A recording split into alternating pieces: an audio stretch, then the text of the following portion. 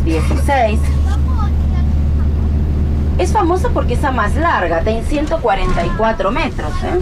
Y tem praças. As praças têm os nomes de como está formada República Argentina, 23 estados, 23 províncias e a cidade autônoma de Buenos Aires, que estamos visitando hoje.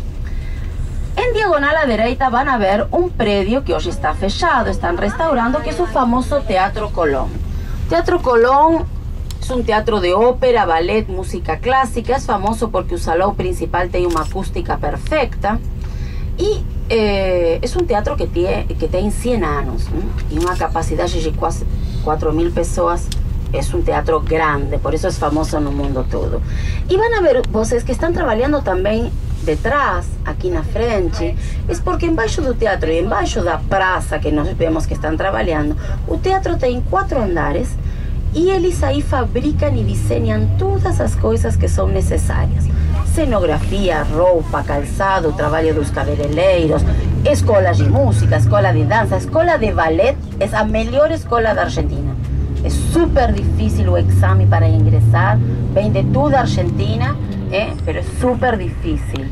Eh, y va a estar, eh, va a ser reinaugurado el próximo 25 de mayo, o ano que vem, porque es a festa do segundo centenario da formación de nuestro primer gobierno, por eso nos visitamos a Praça de Maio. A Praça Histórica tem o nome da data da revolución que consigue formar nuestro primer gobierno.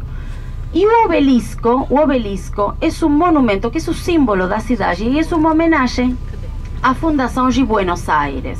Primeiro Fundação do Porto, Santa Maria de los Buenos Aires, em 1536. E depois foi fundada na praça que vamos a visitar agora, Praça de Maio, a cidade da Santíssima Trindade. O que acontece? Na história de Buenos Aires, ninguém fala o nome do no, da cidade. Todo mundo fala o nome do porto. Então, quando escolhem um nome para o Distrito Federal, escolhem un nome do Porto, Buenos Aires. Por eso como falamos a população de Buenos Aires? Porteños, aquele que mora no Porto. É por eso porteños.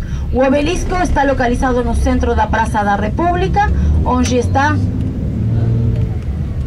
onde vocês vão ver que tem a bandeira argentina, a bandeira da cidade de Buenos Aires e no chão estão todos os blasões e os escudos dos 23 estados argentinos y da cidade de Buenos Aires.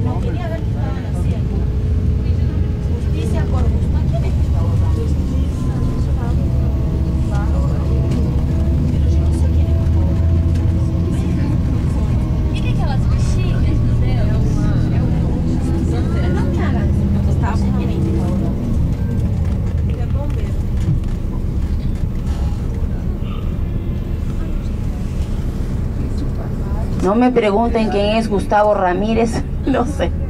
Estoy preguntando, me dice, basta por la impunidad, tonto. Pregunté para él y si quién es Gustavo Ramírez, ninguém sabe. Ay, qué vergüenza, pero no.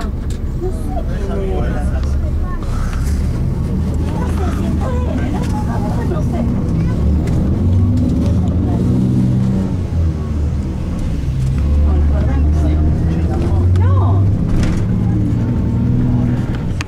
Bueno, aquí vos podem ver, estamos en la famosa avenida Corrientes, que la señora me preguntaba.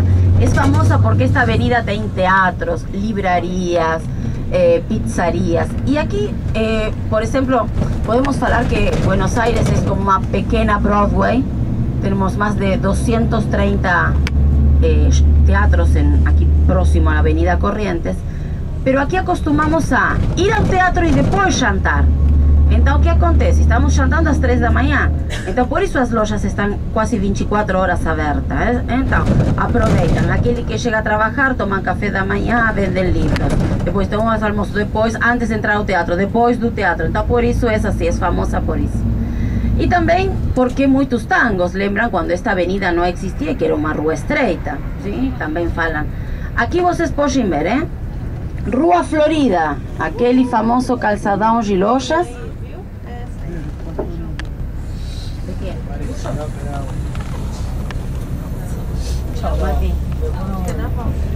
Aquí voces van a ver que cuando pasamos Avenida a Rua Florida, en Avenida Corrientes, voces van a comenzar a ver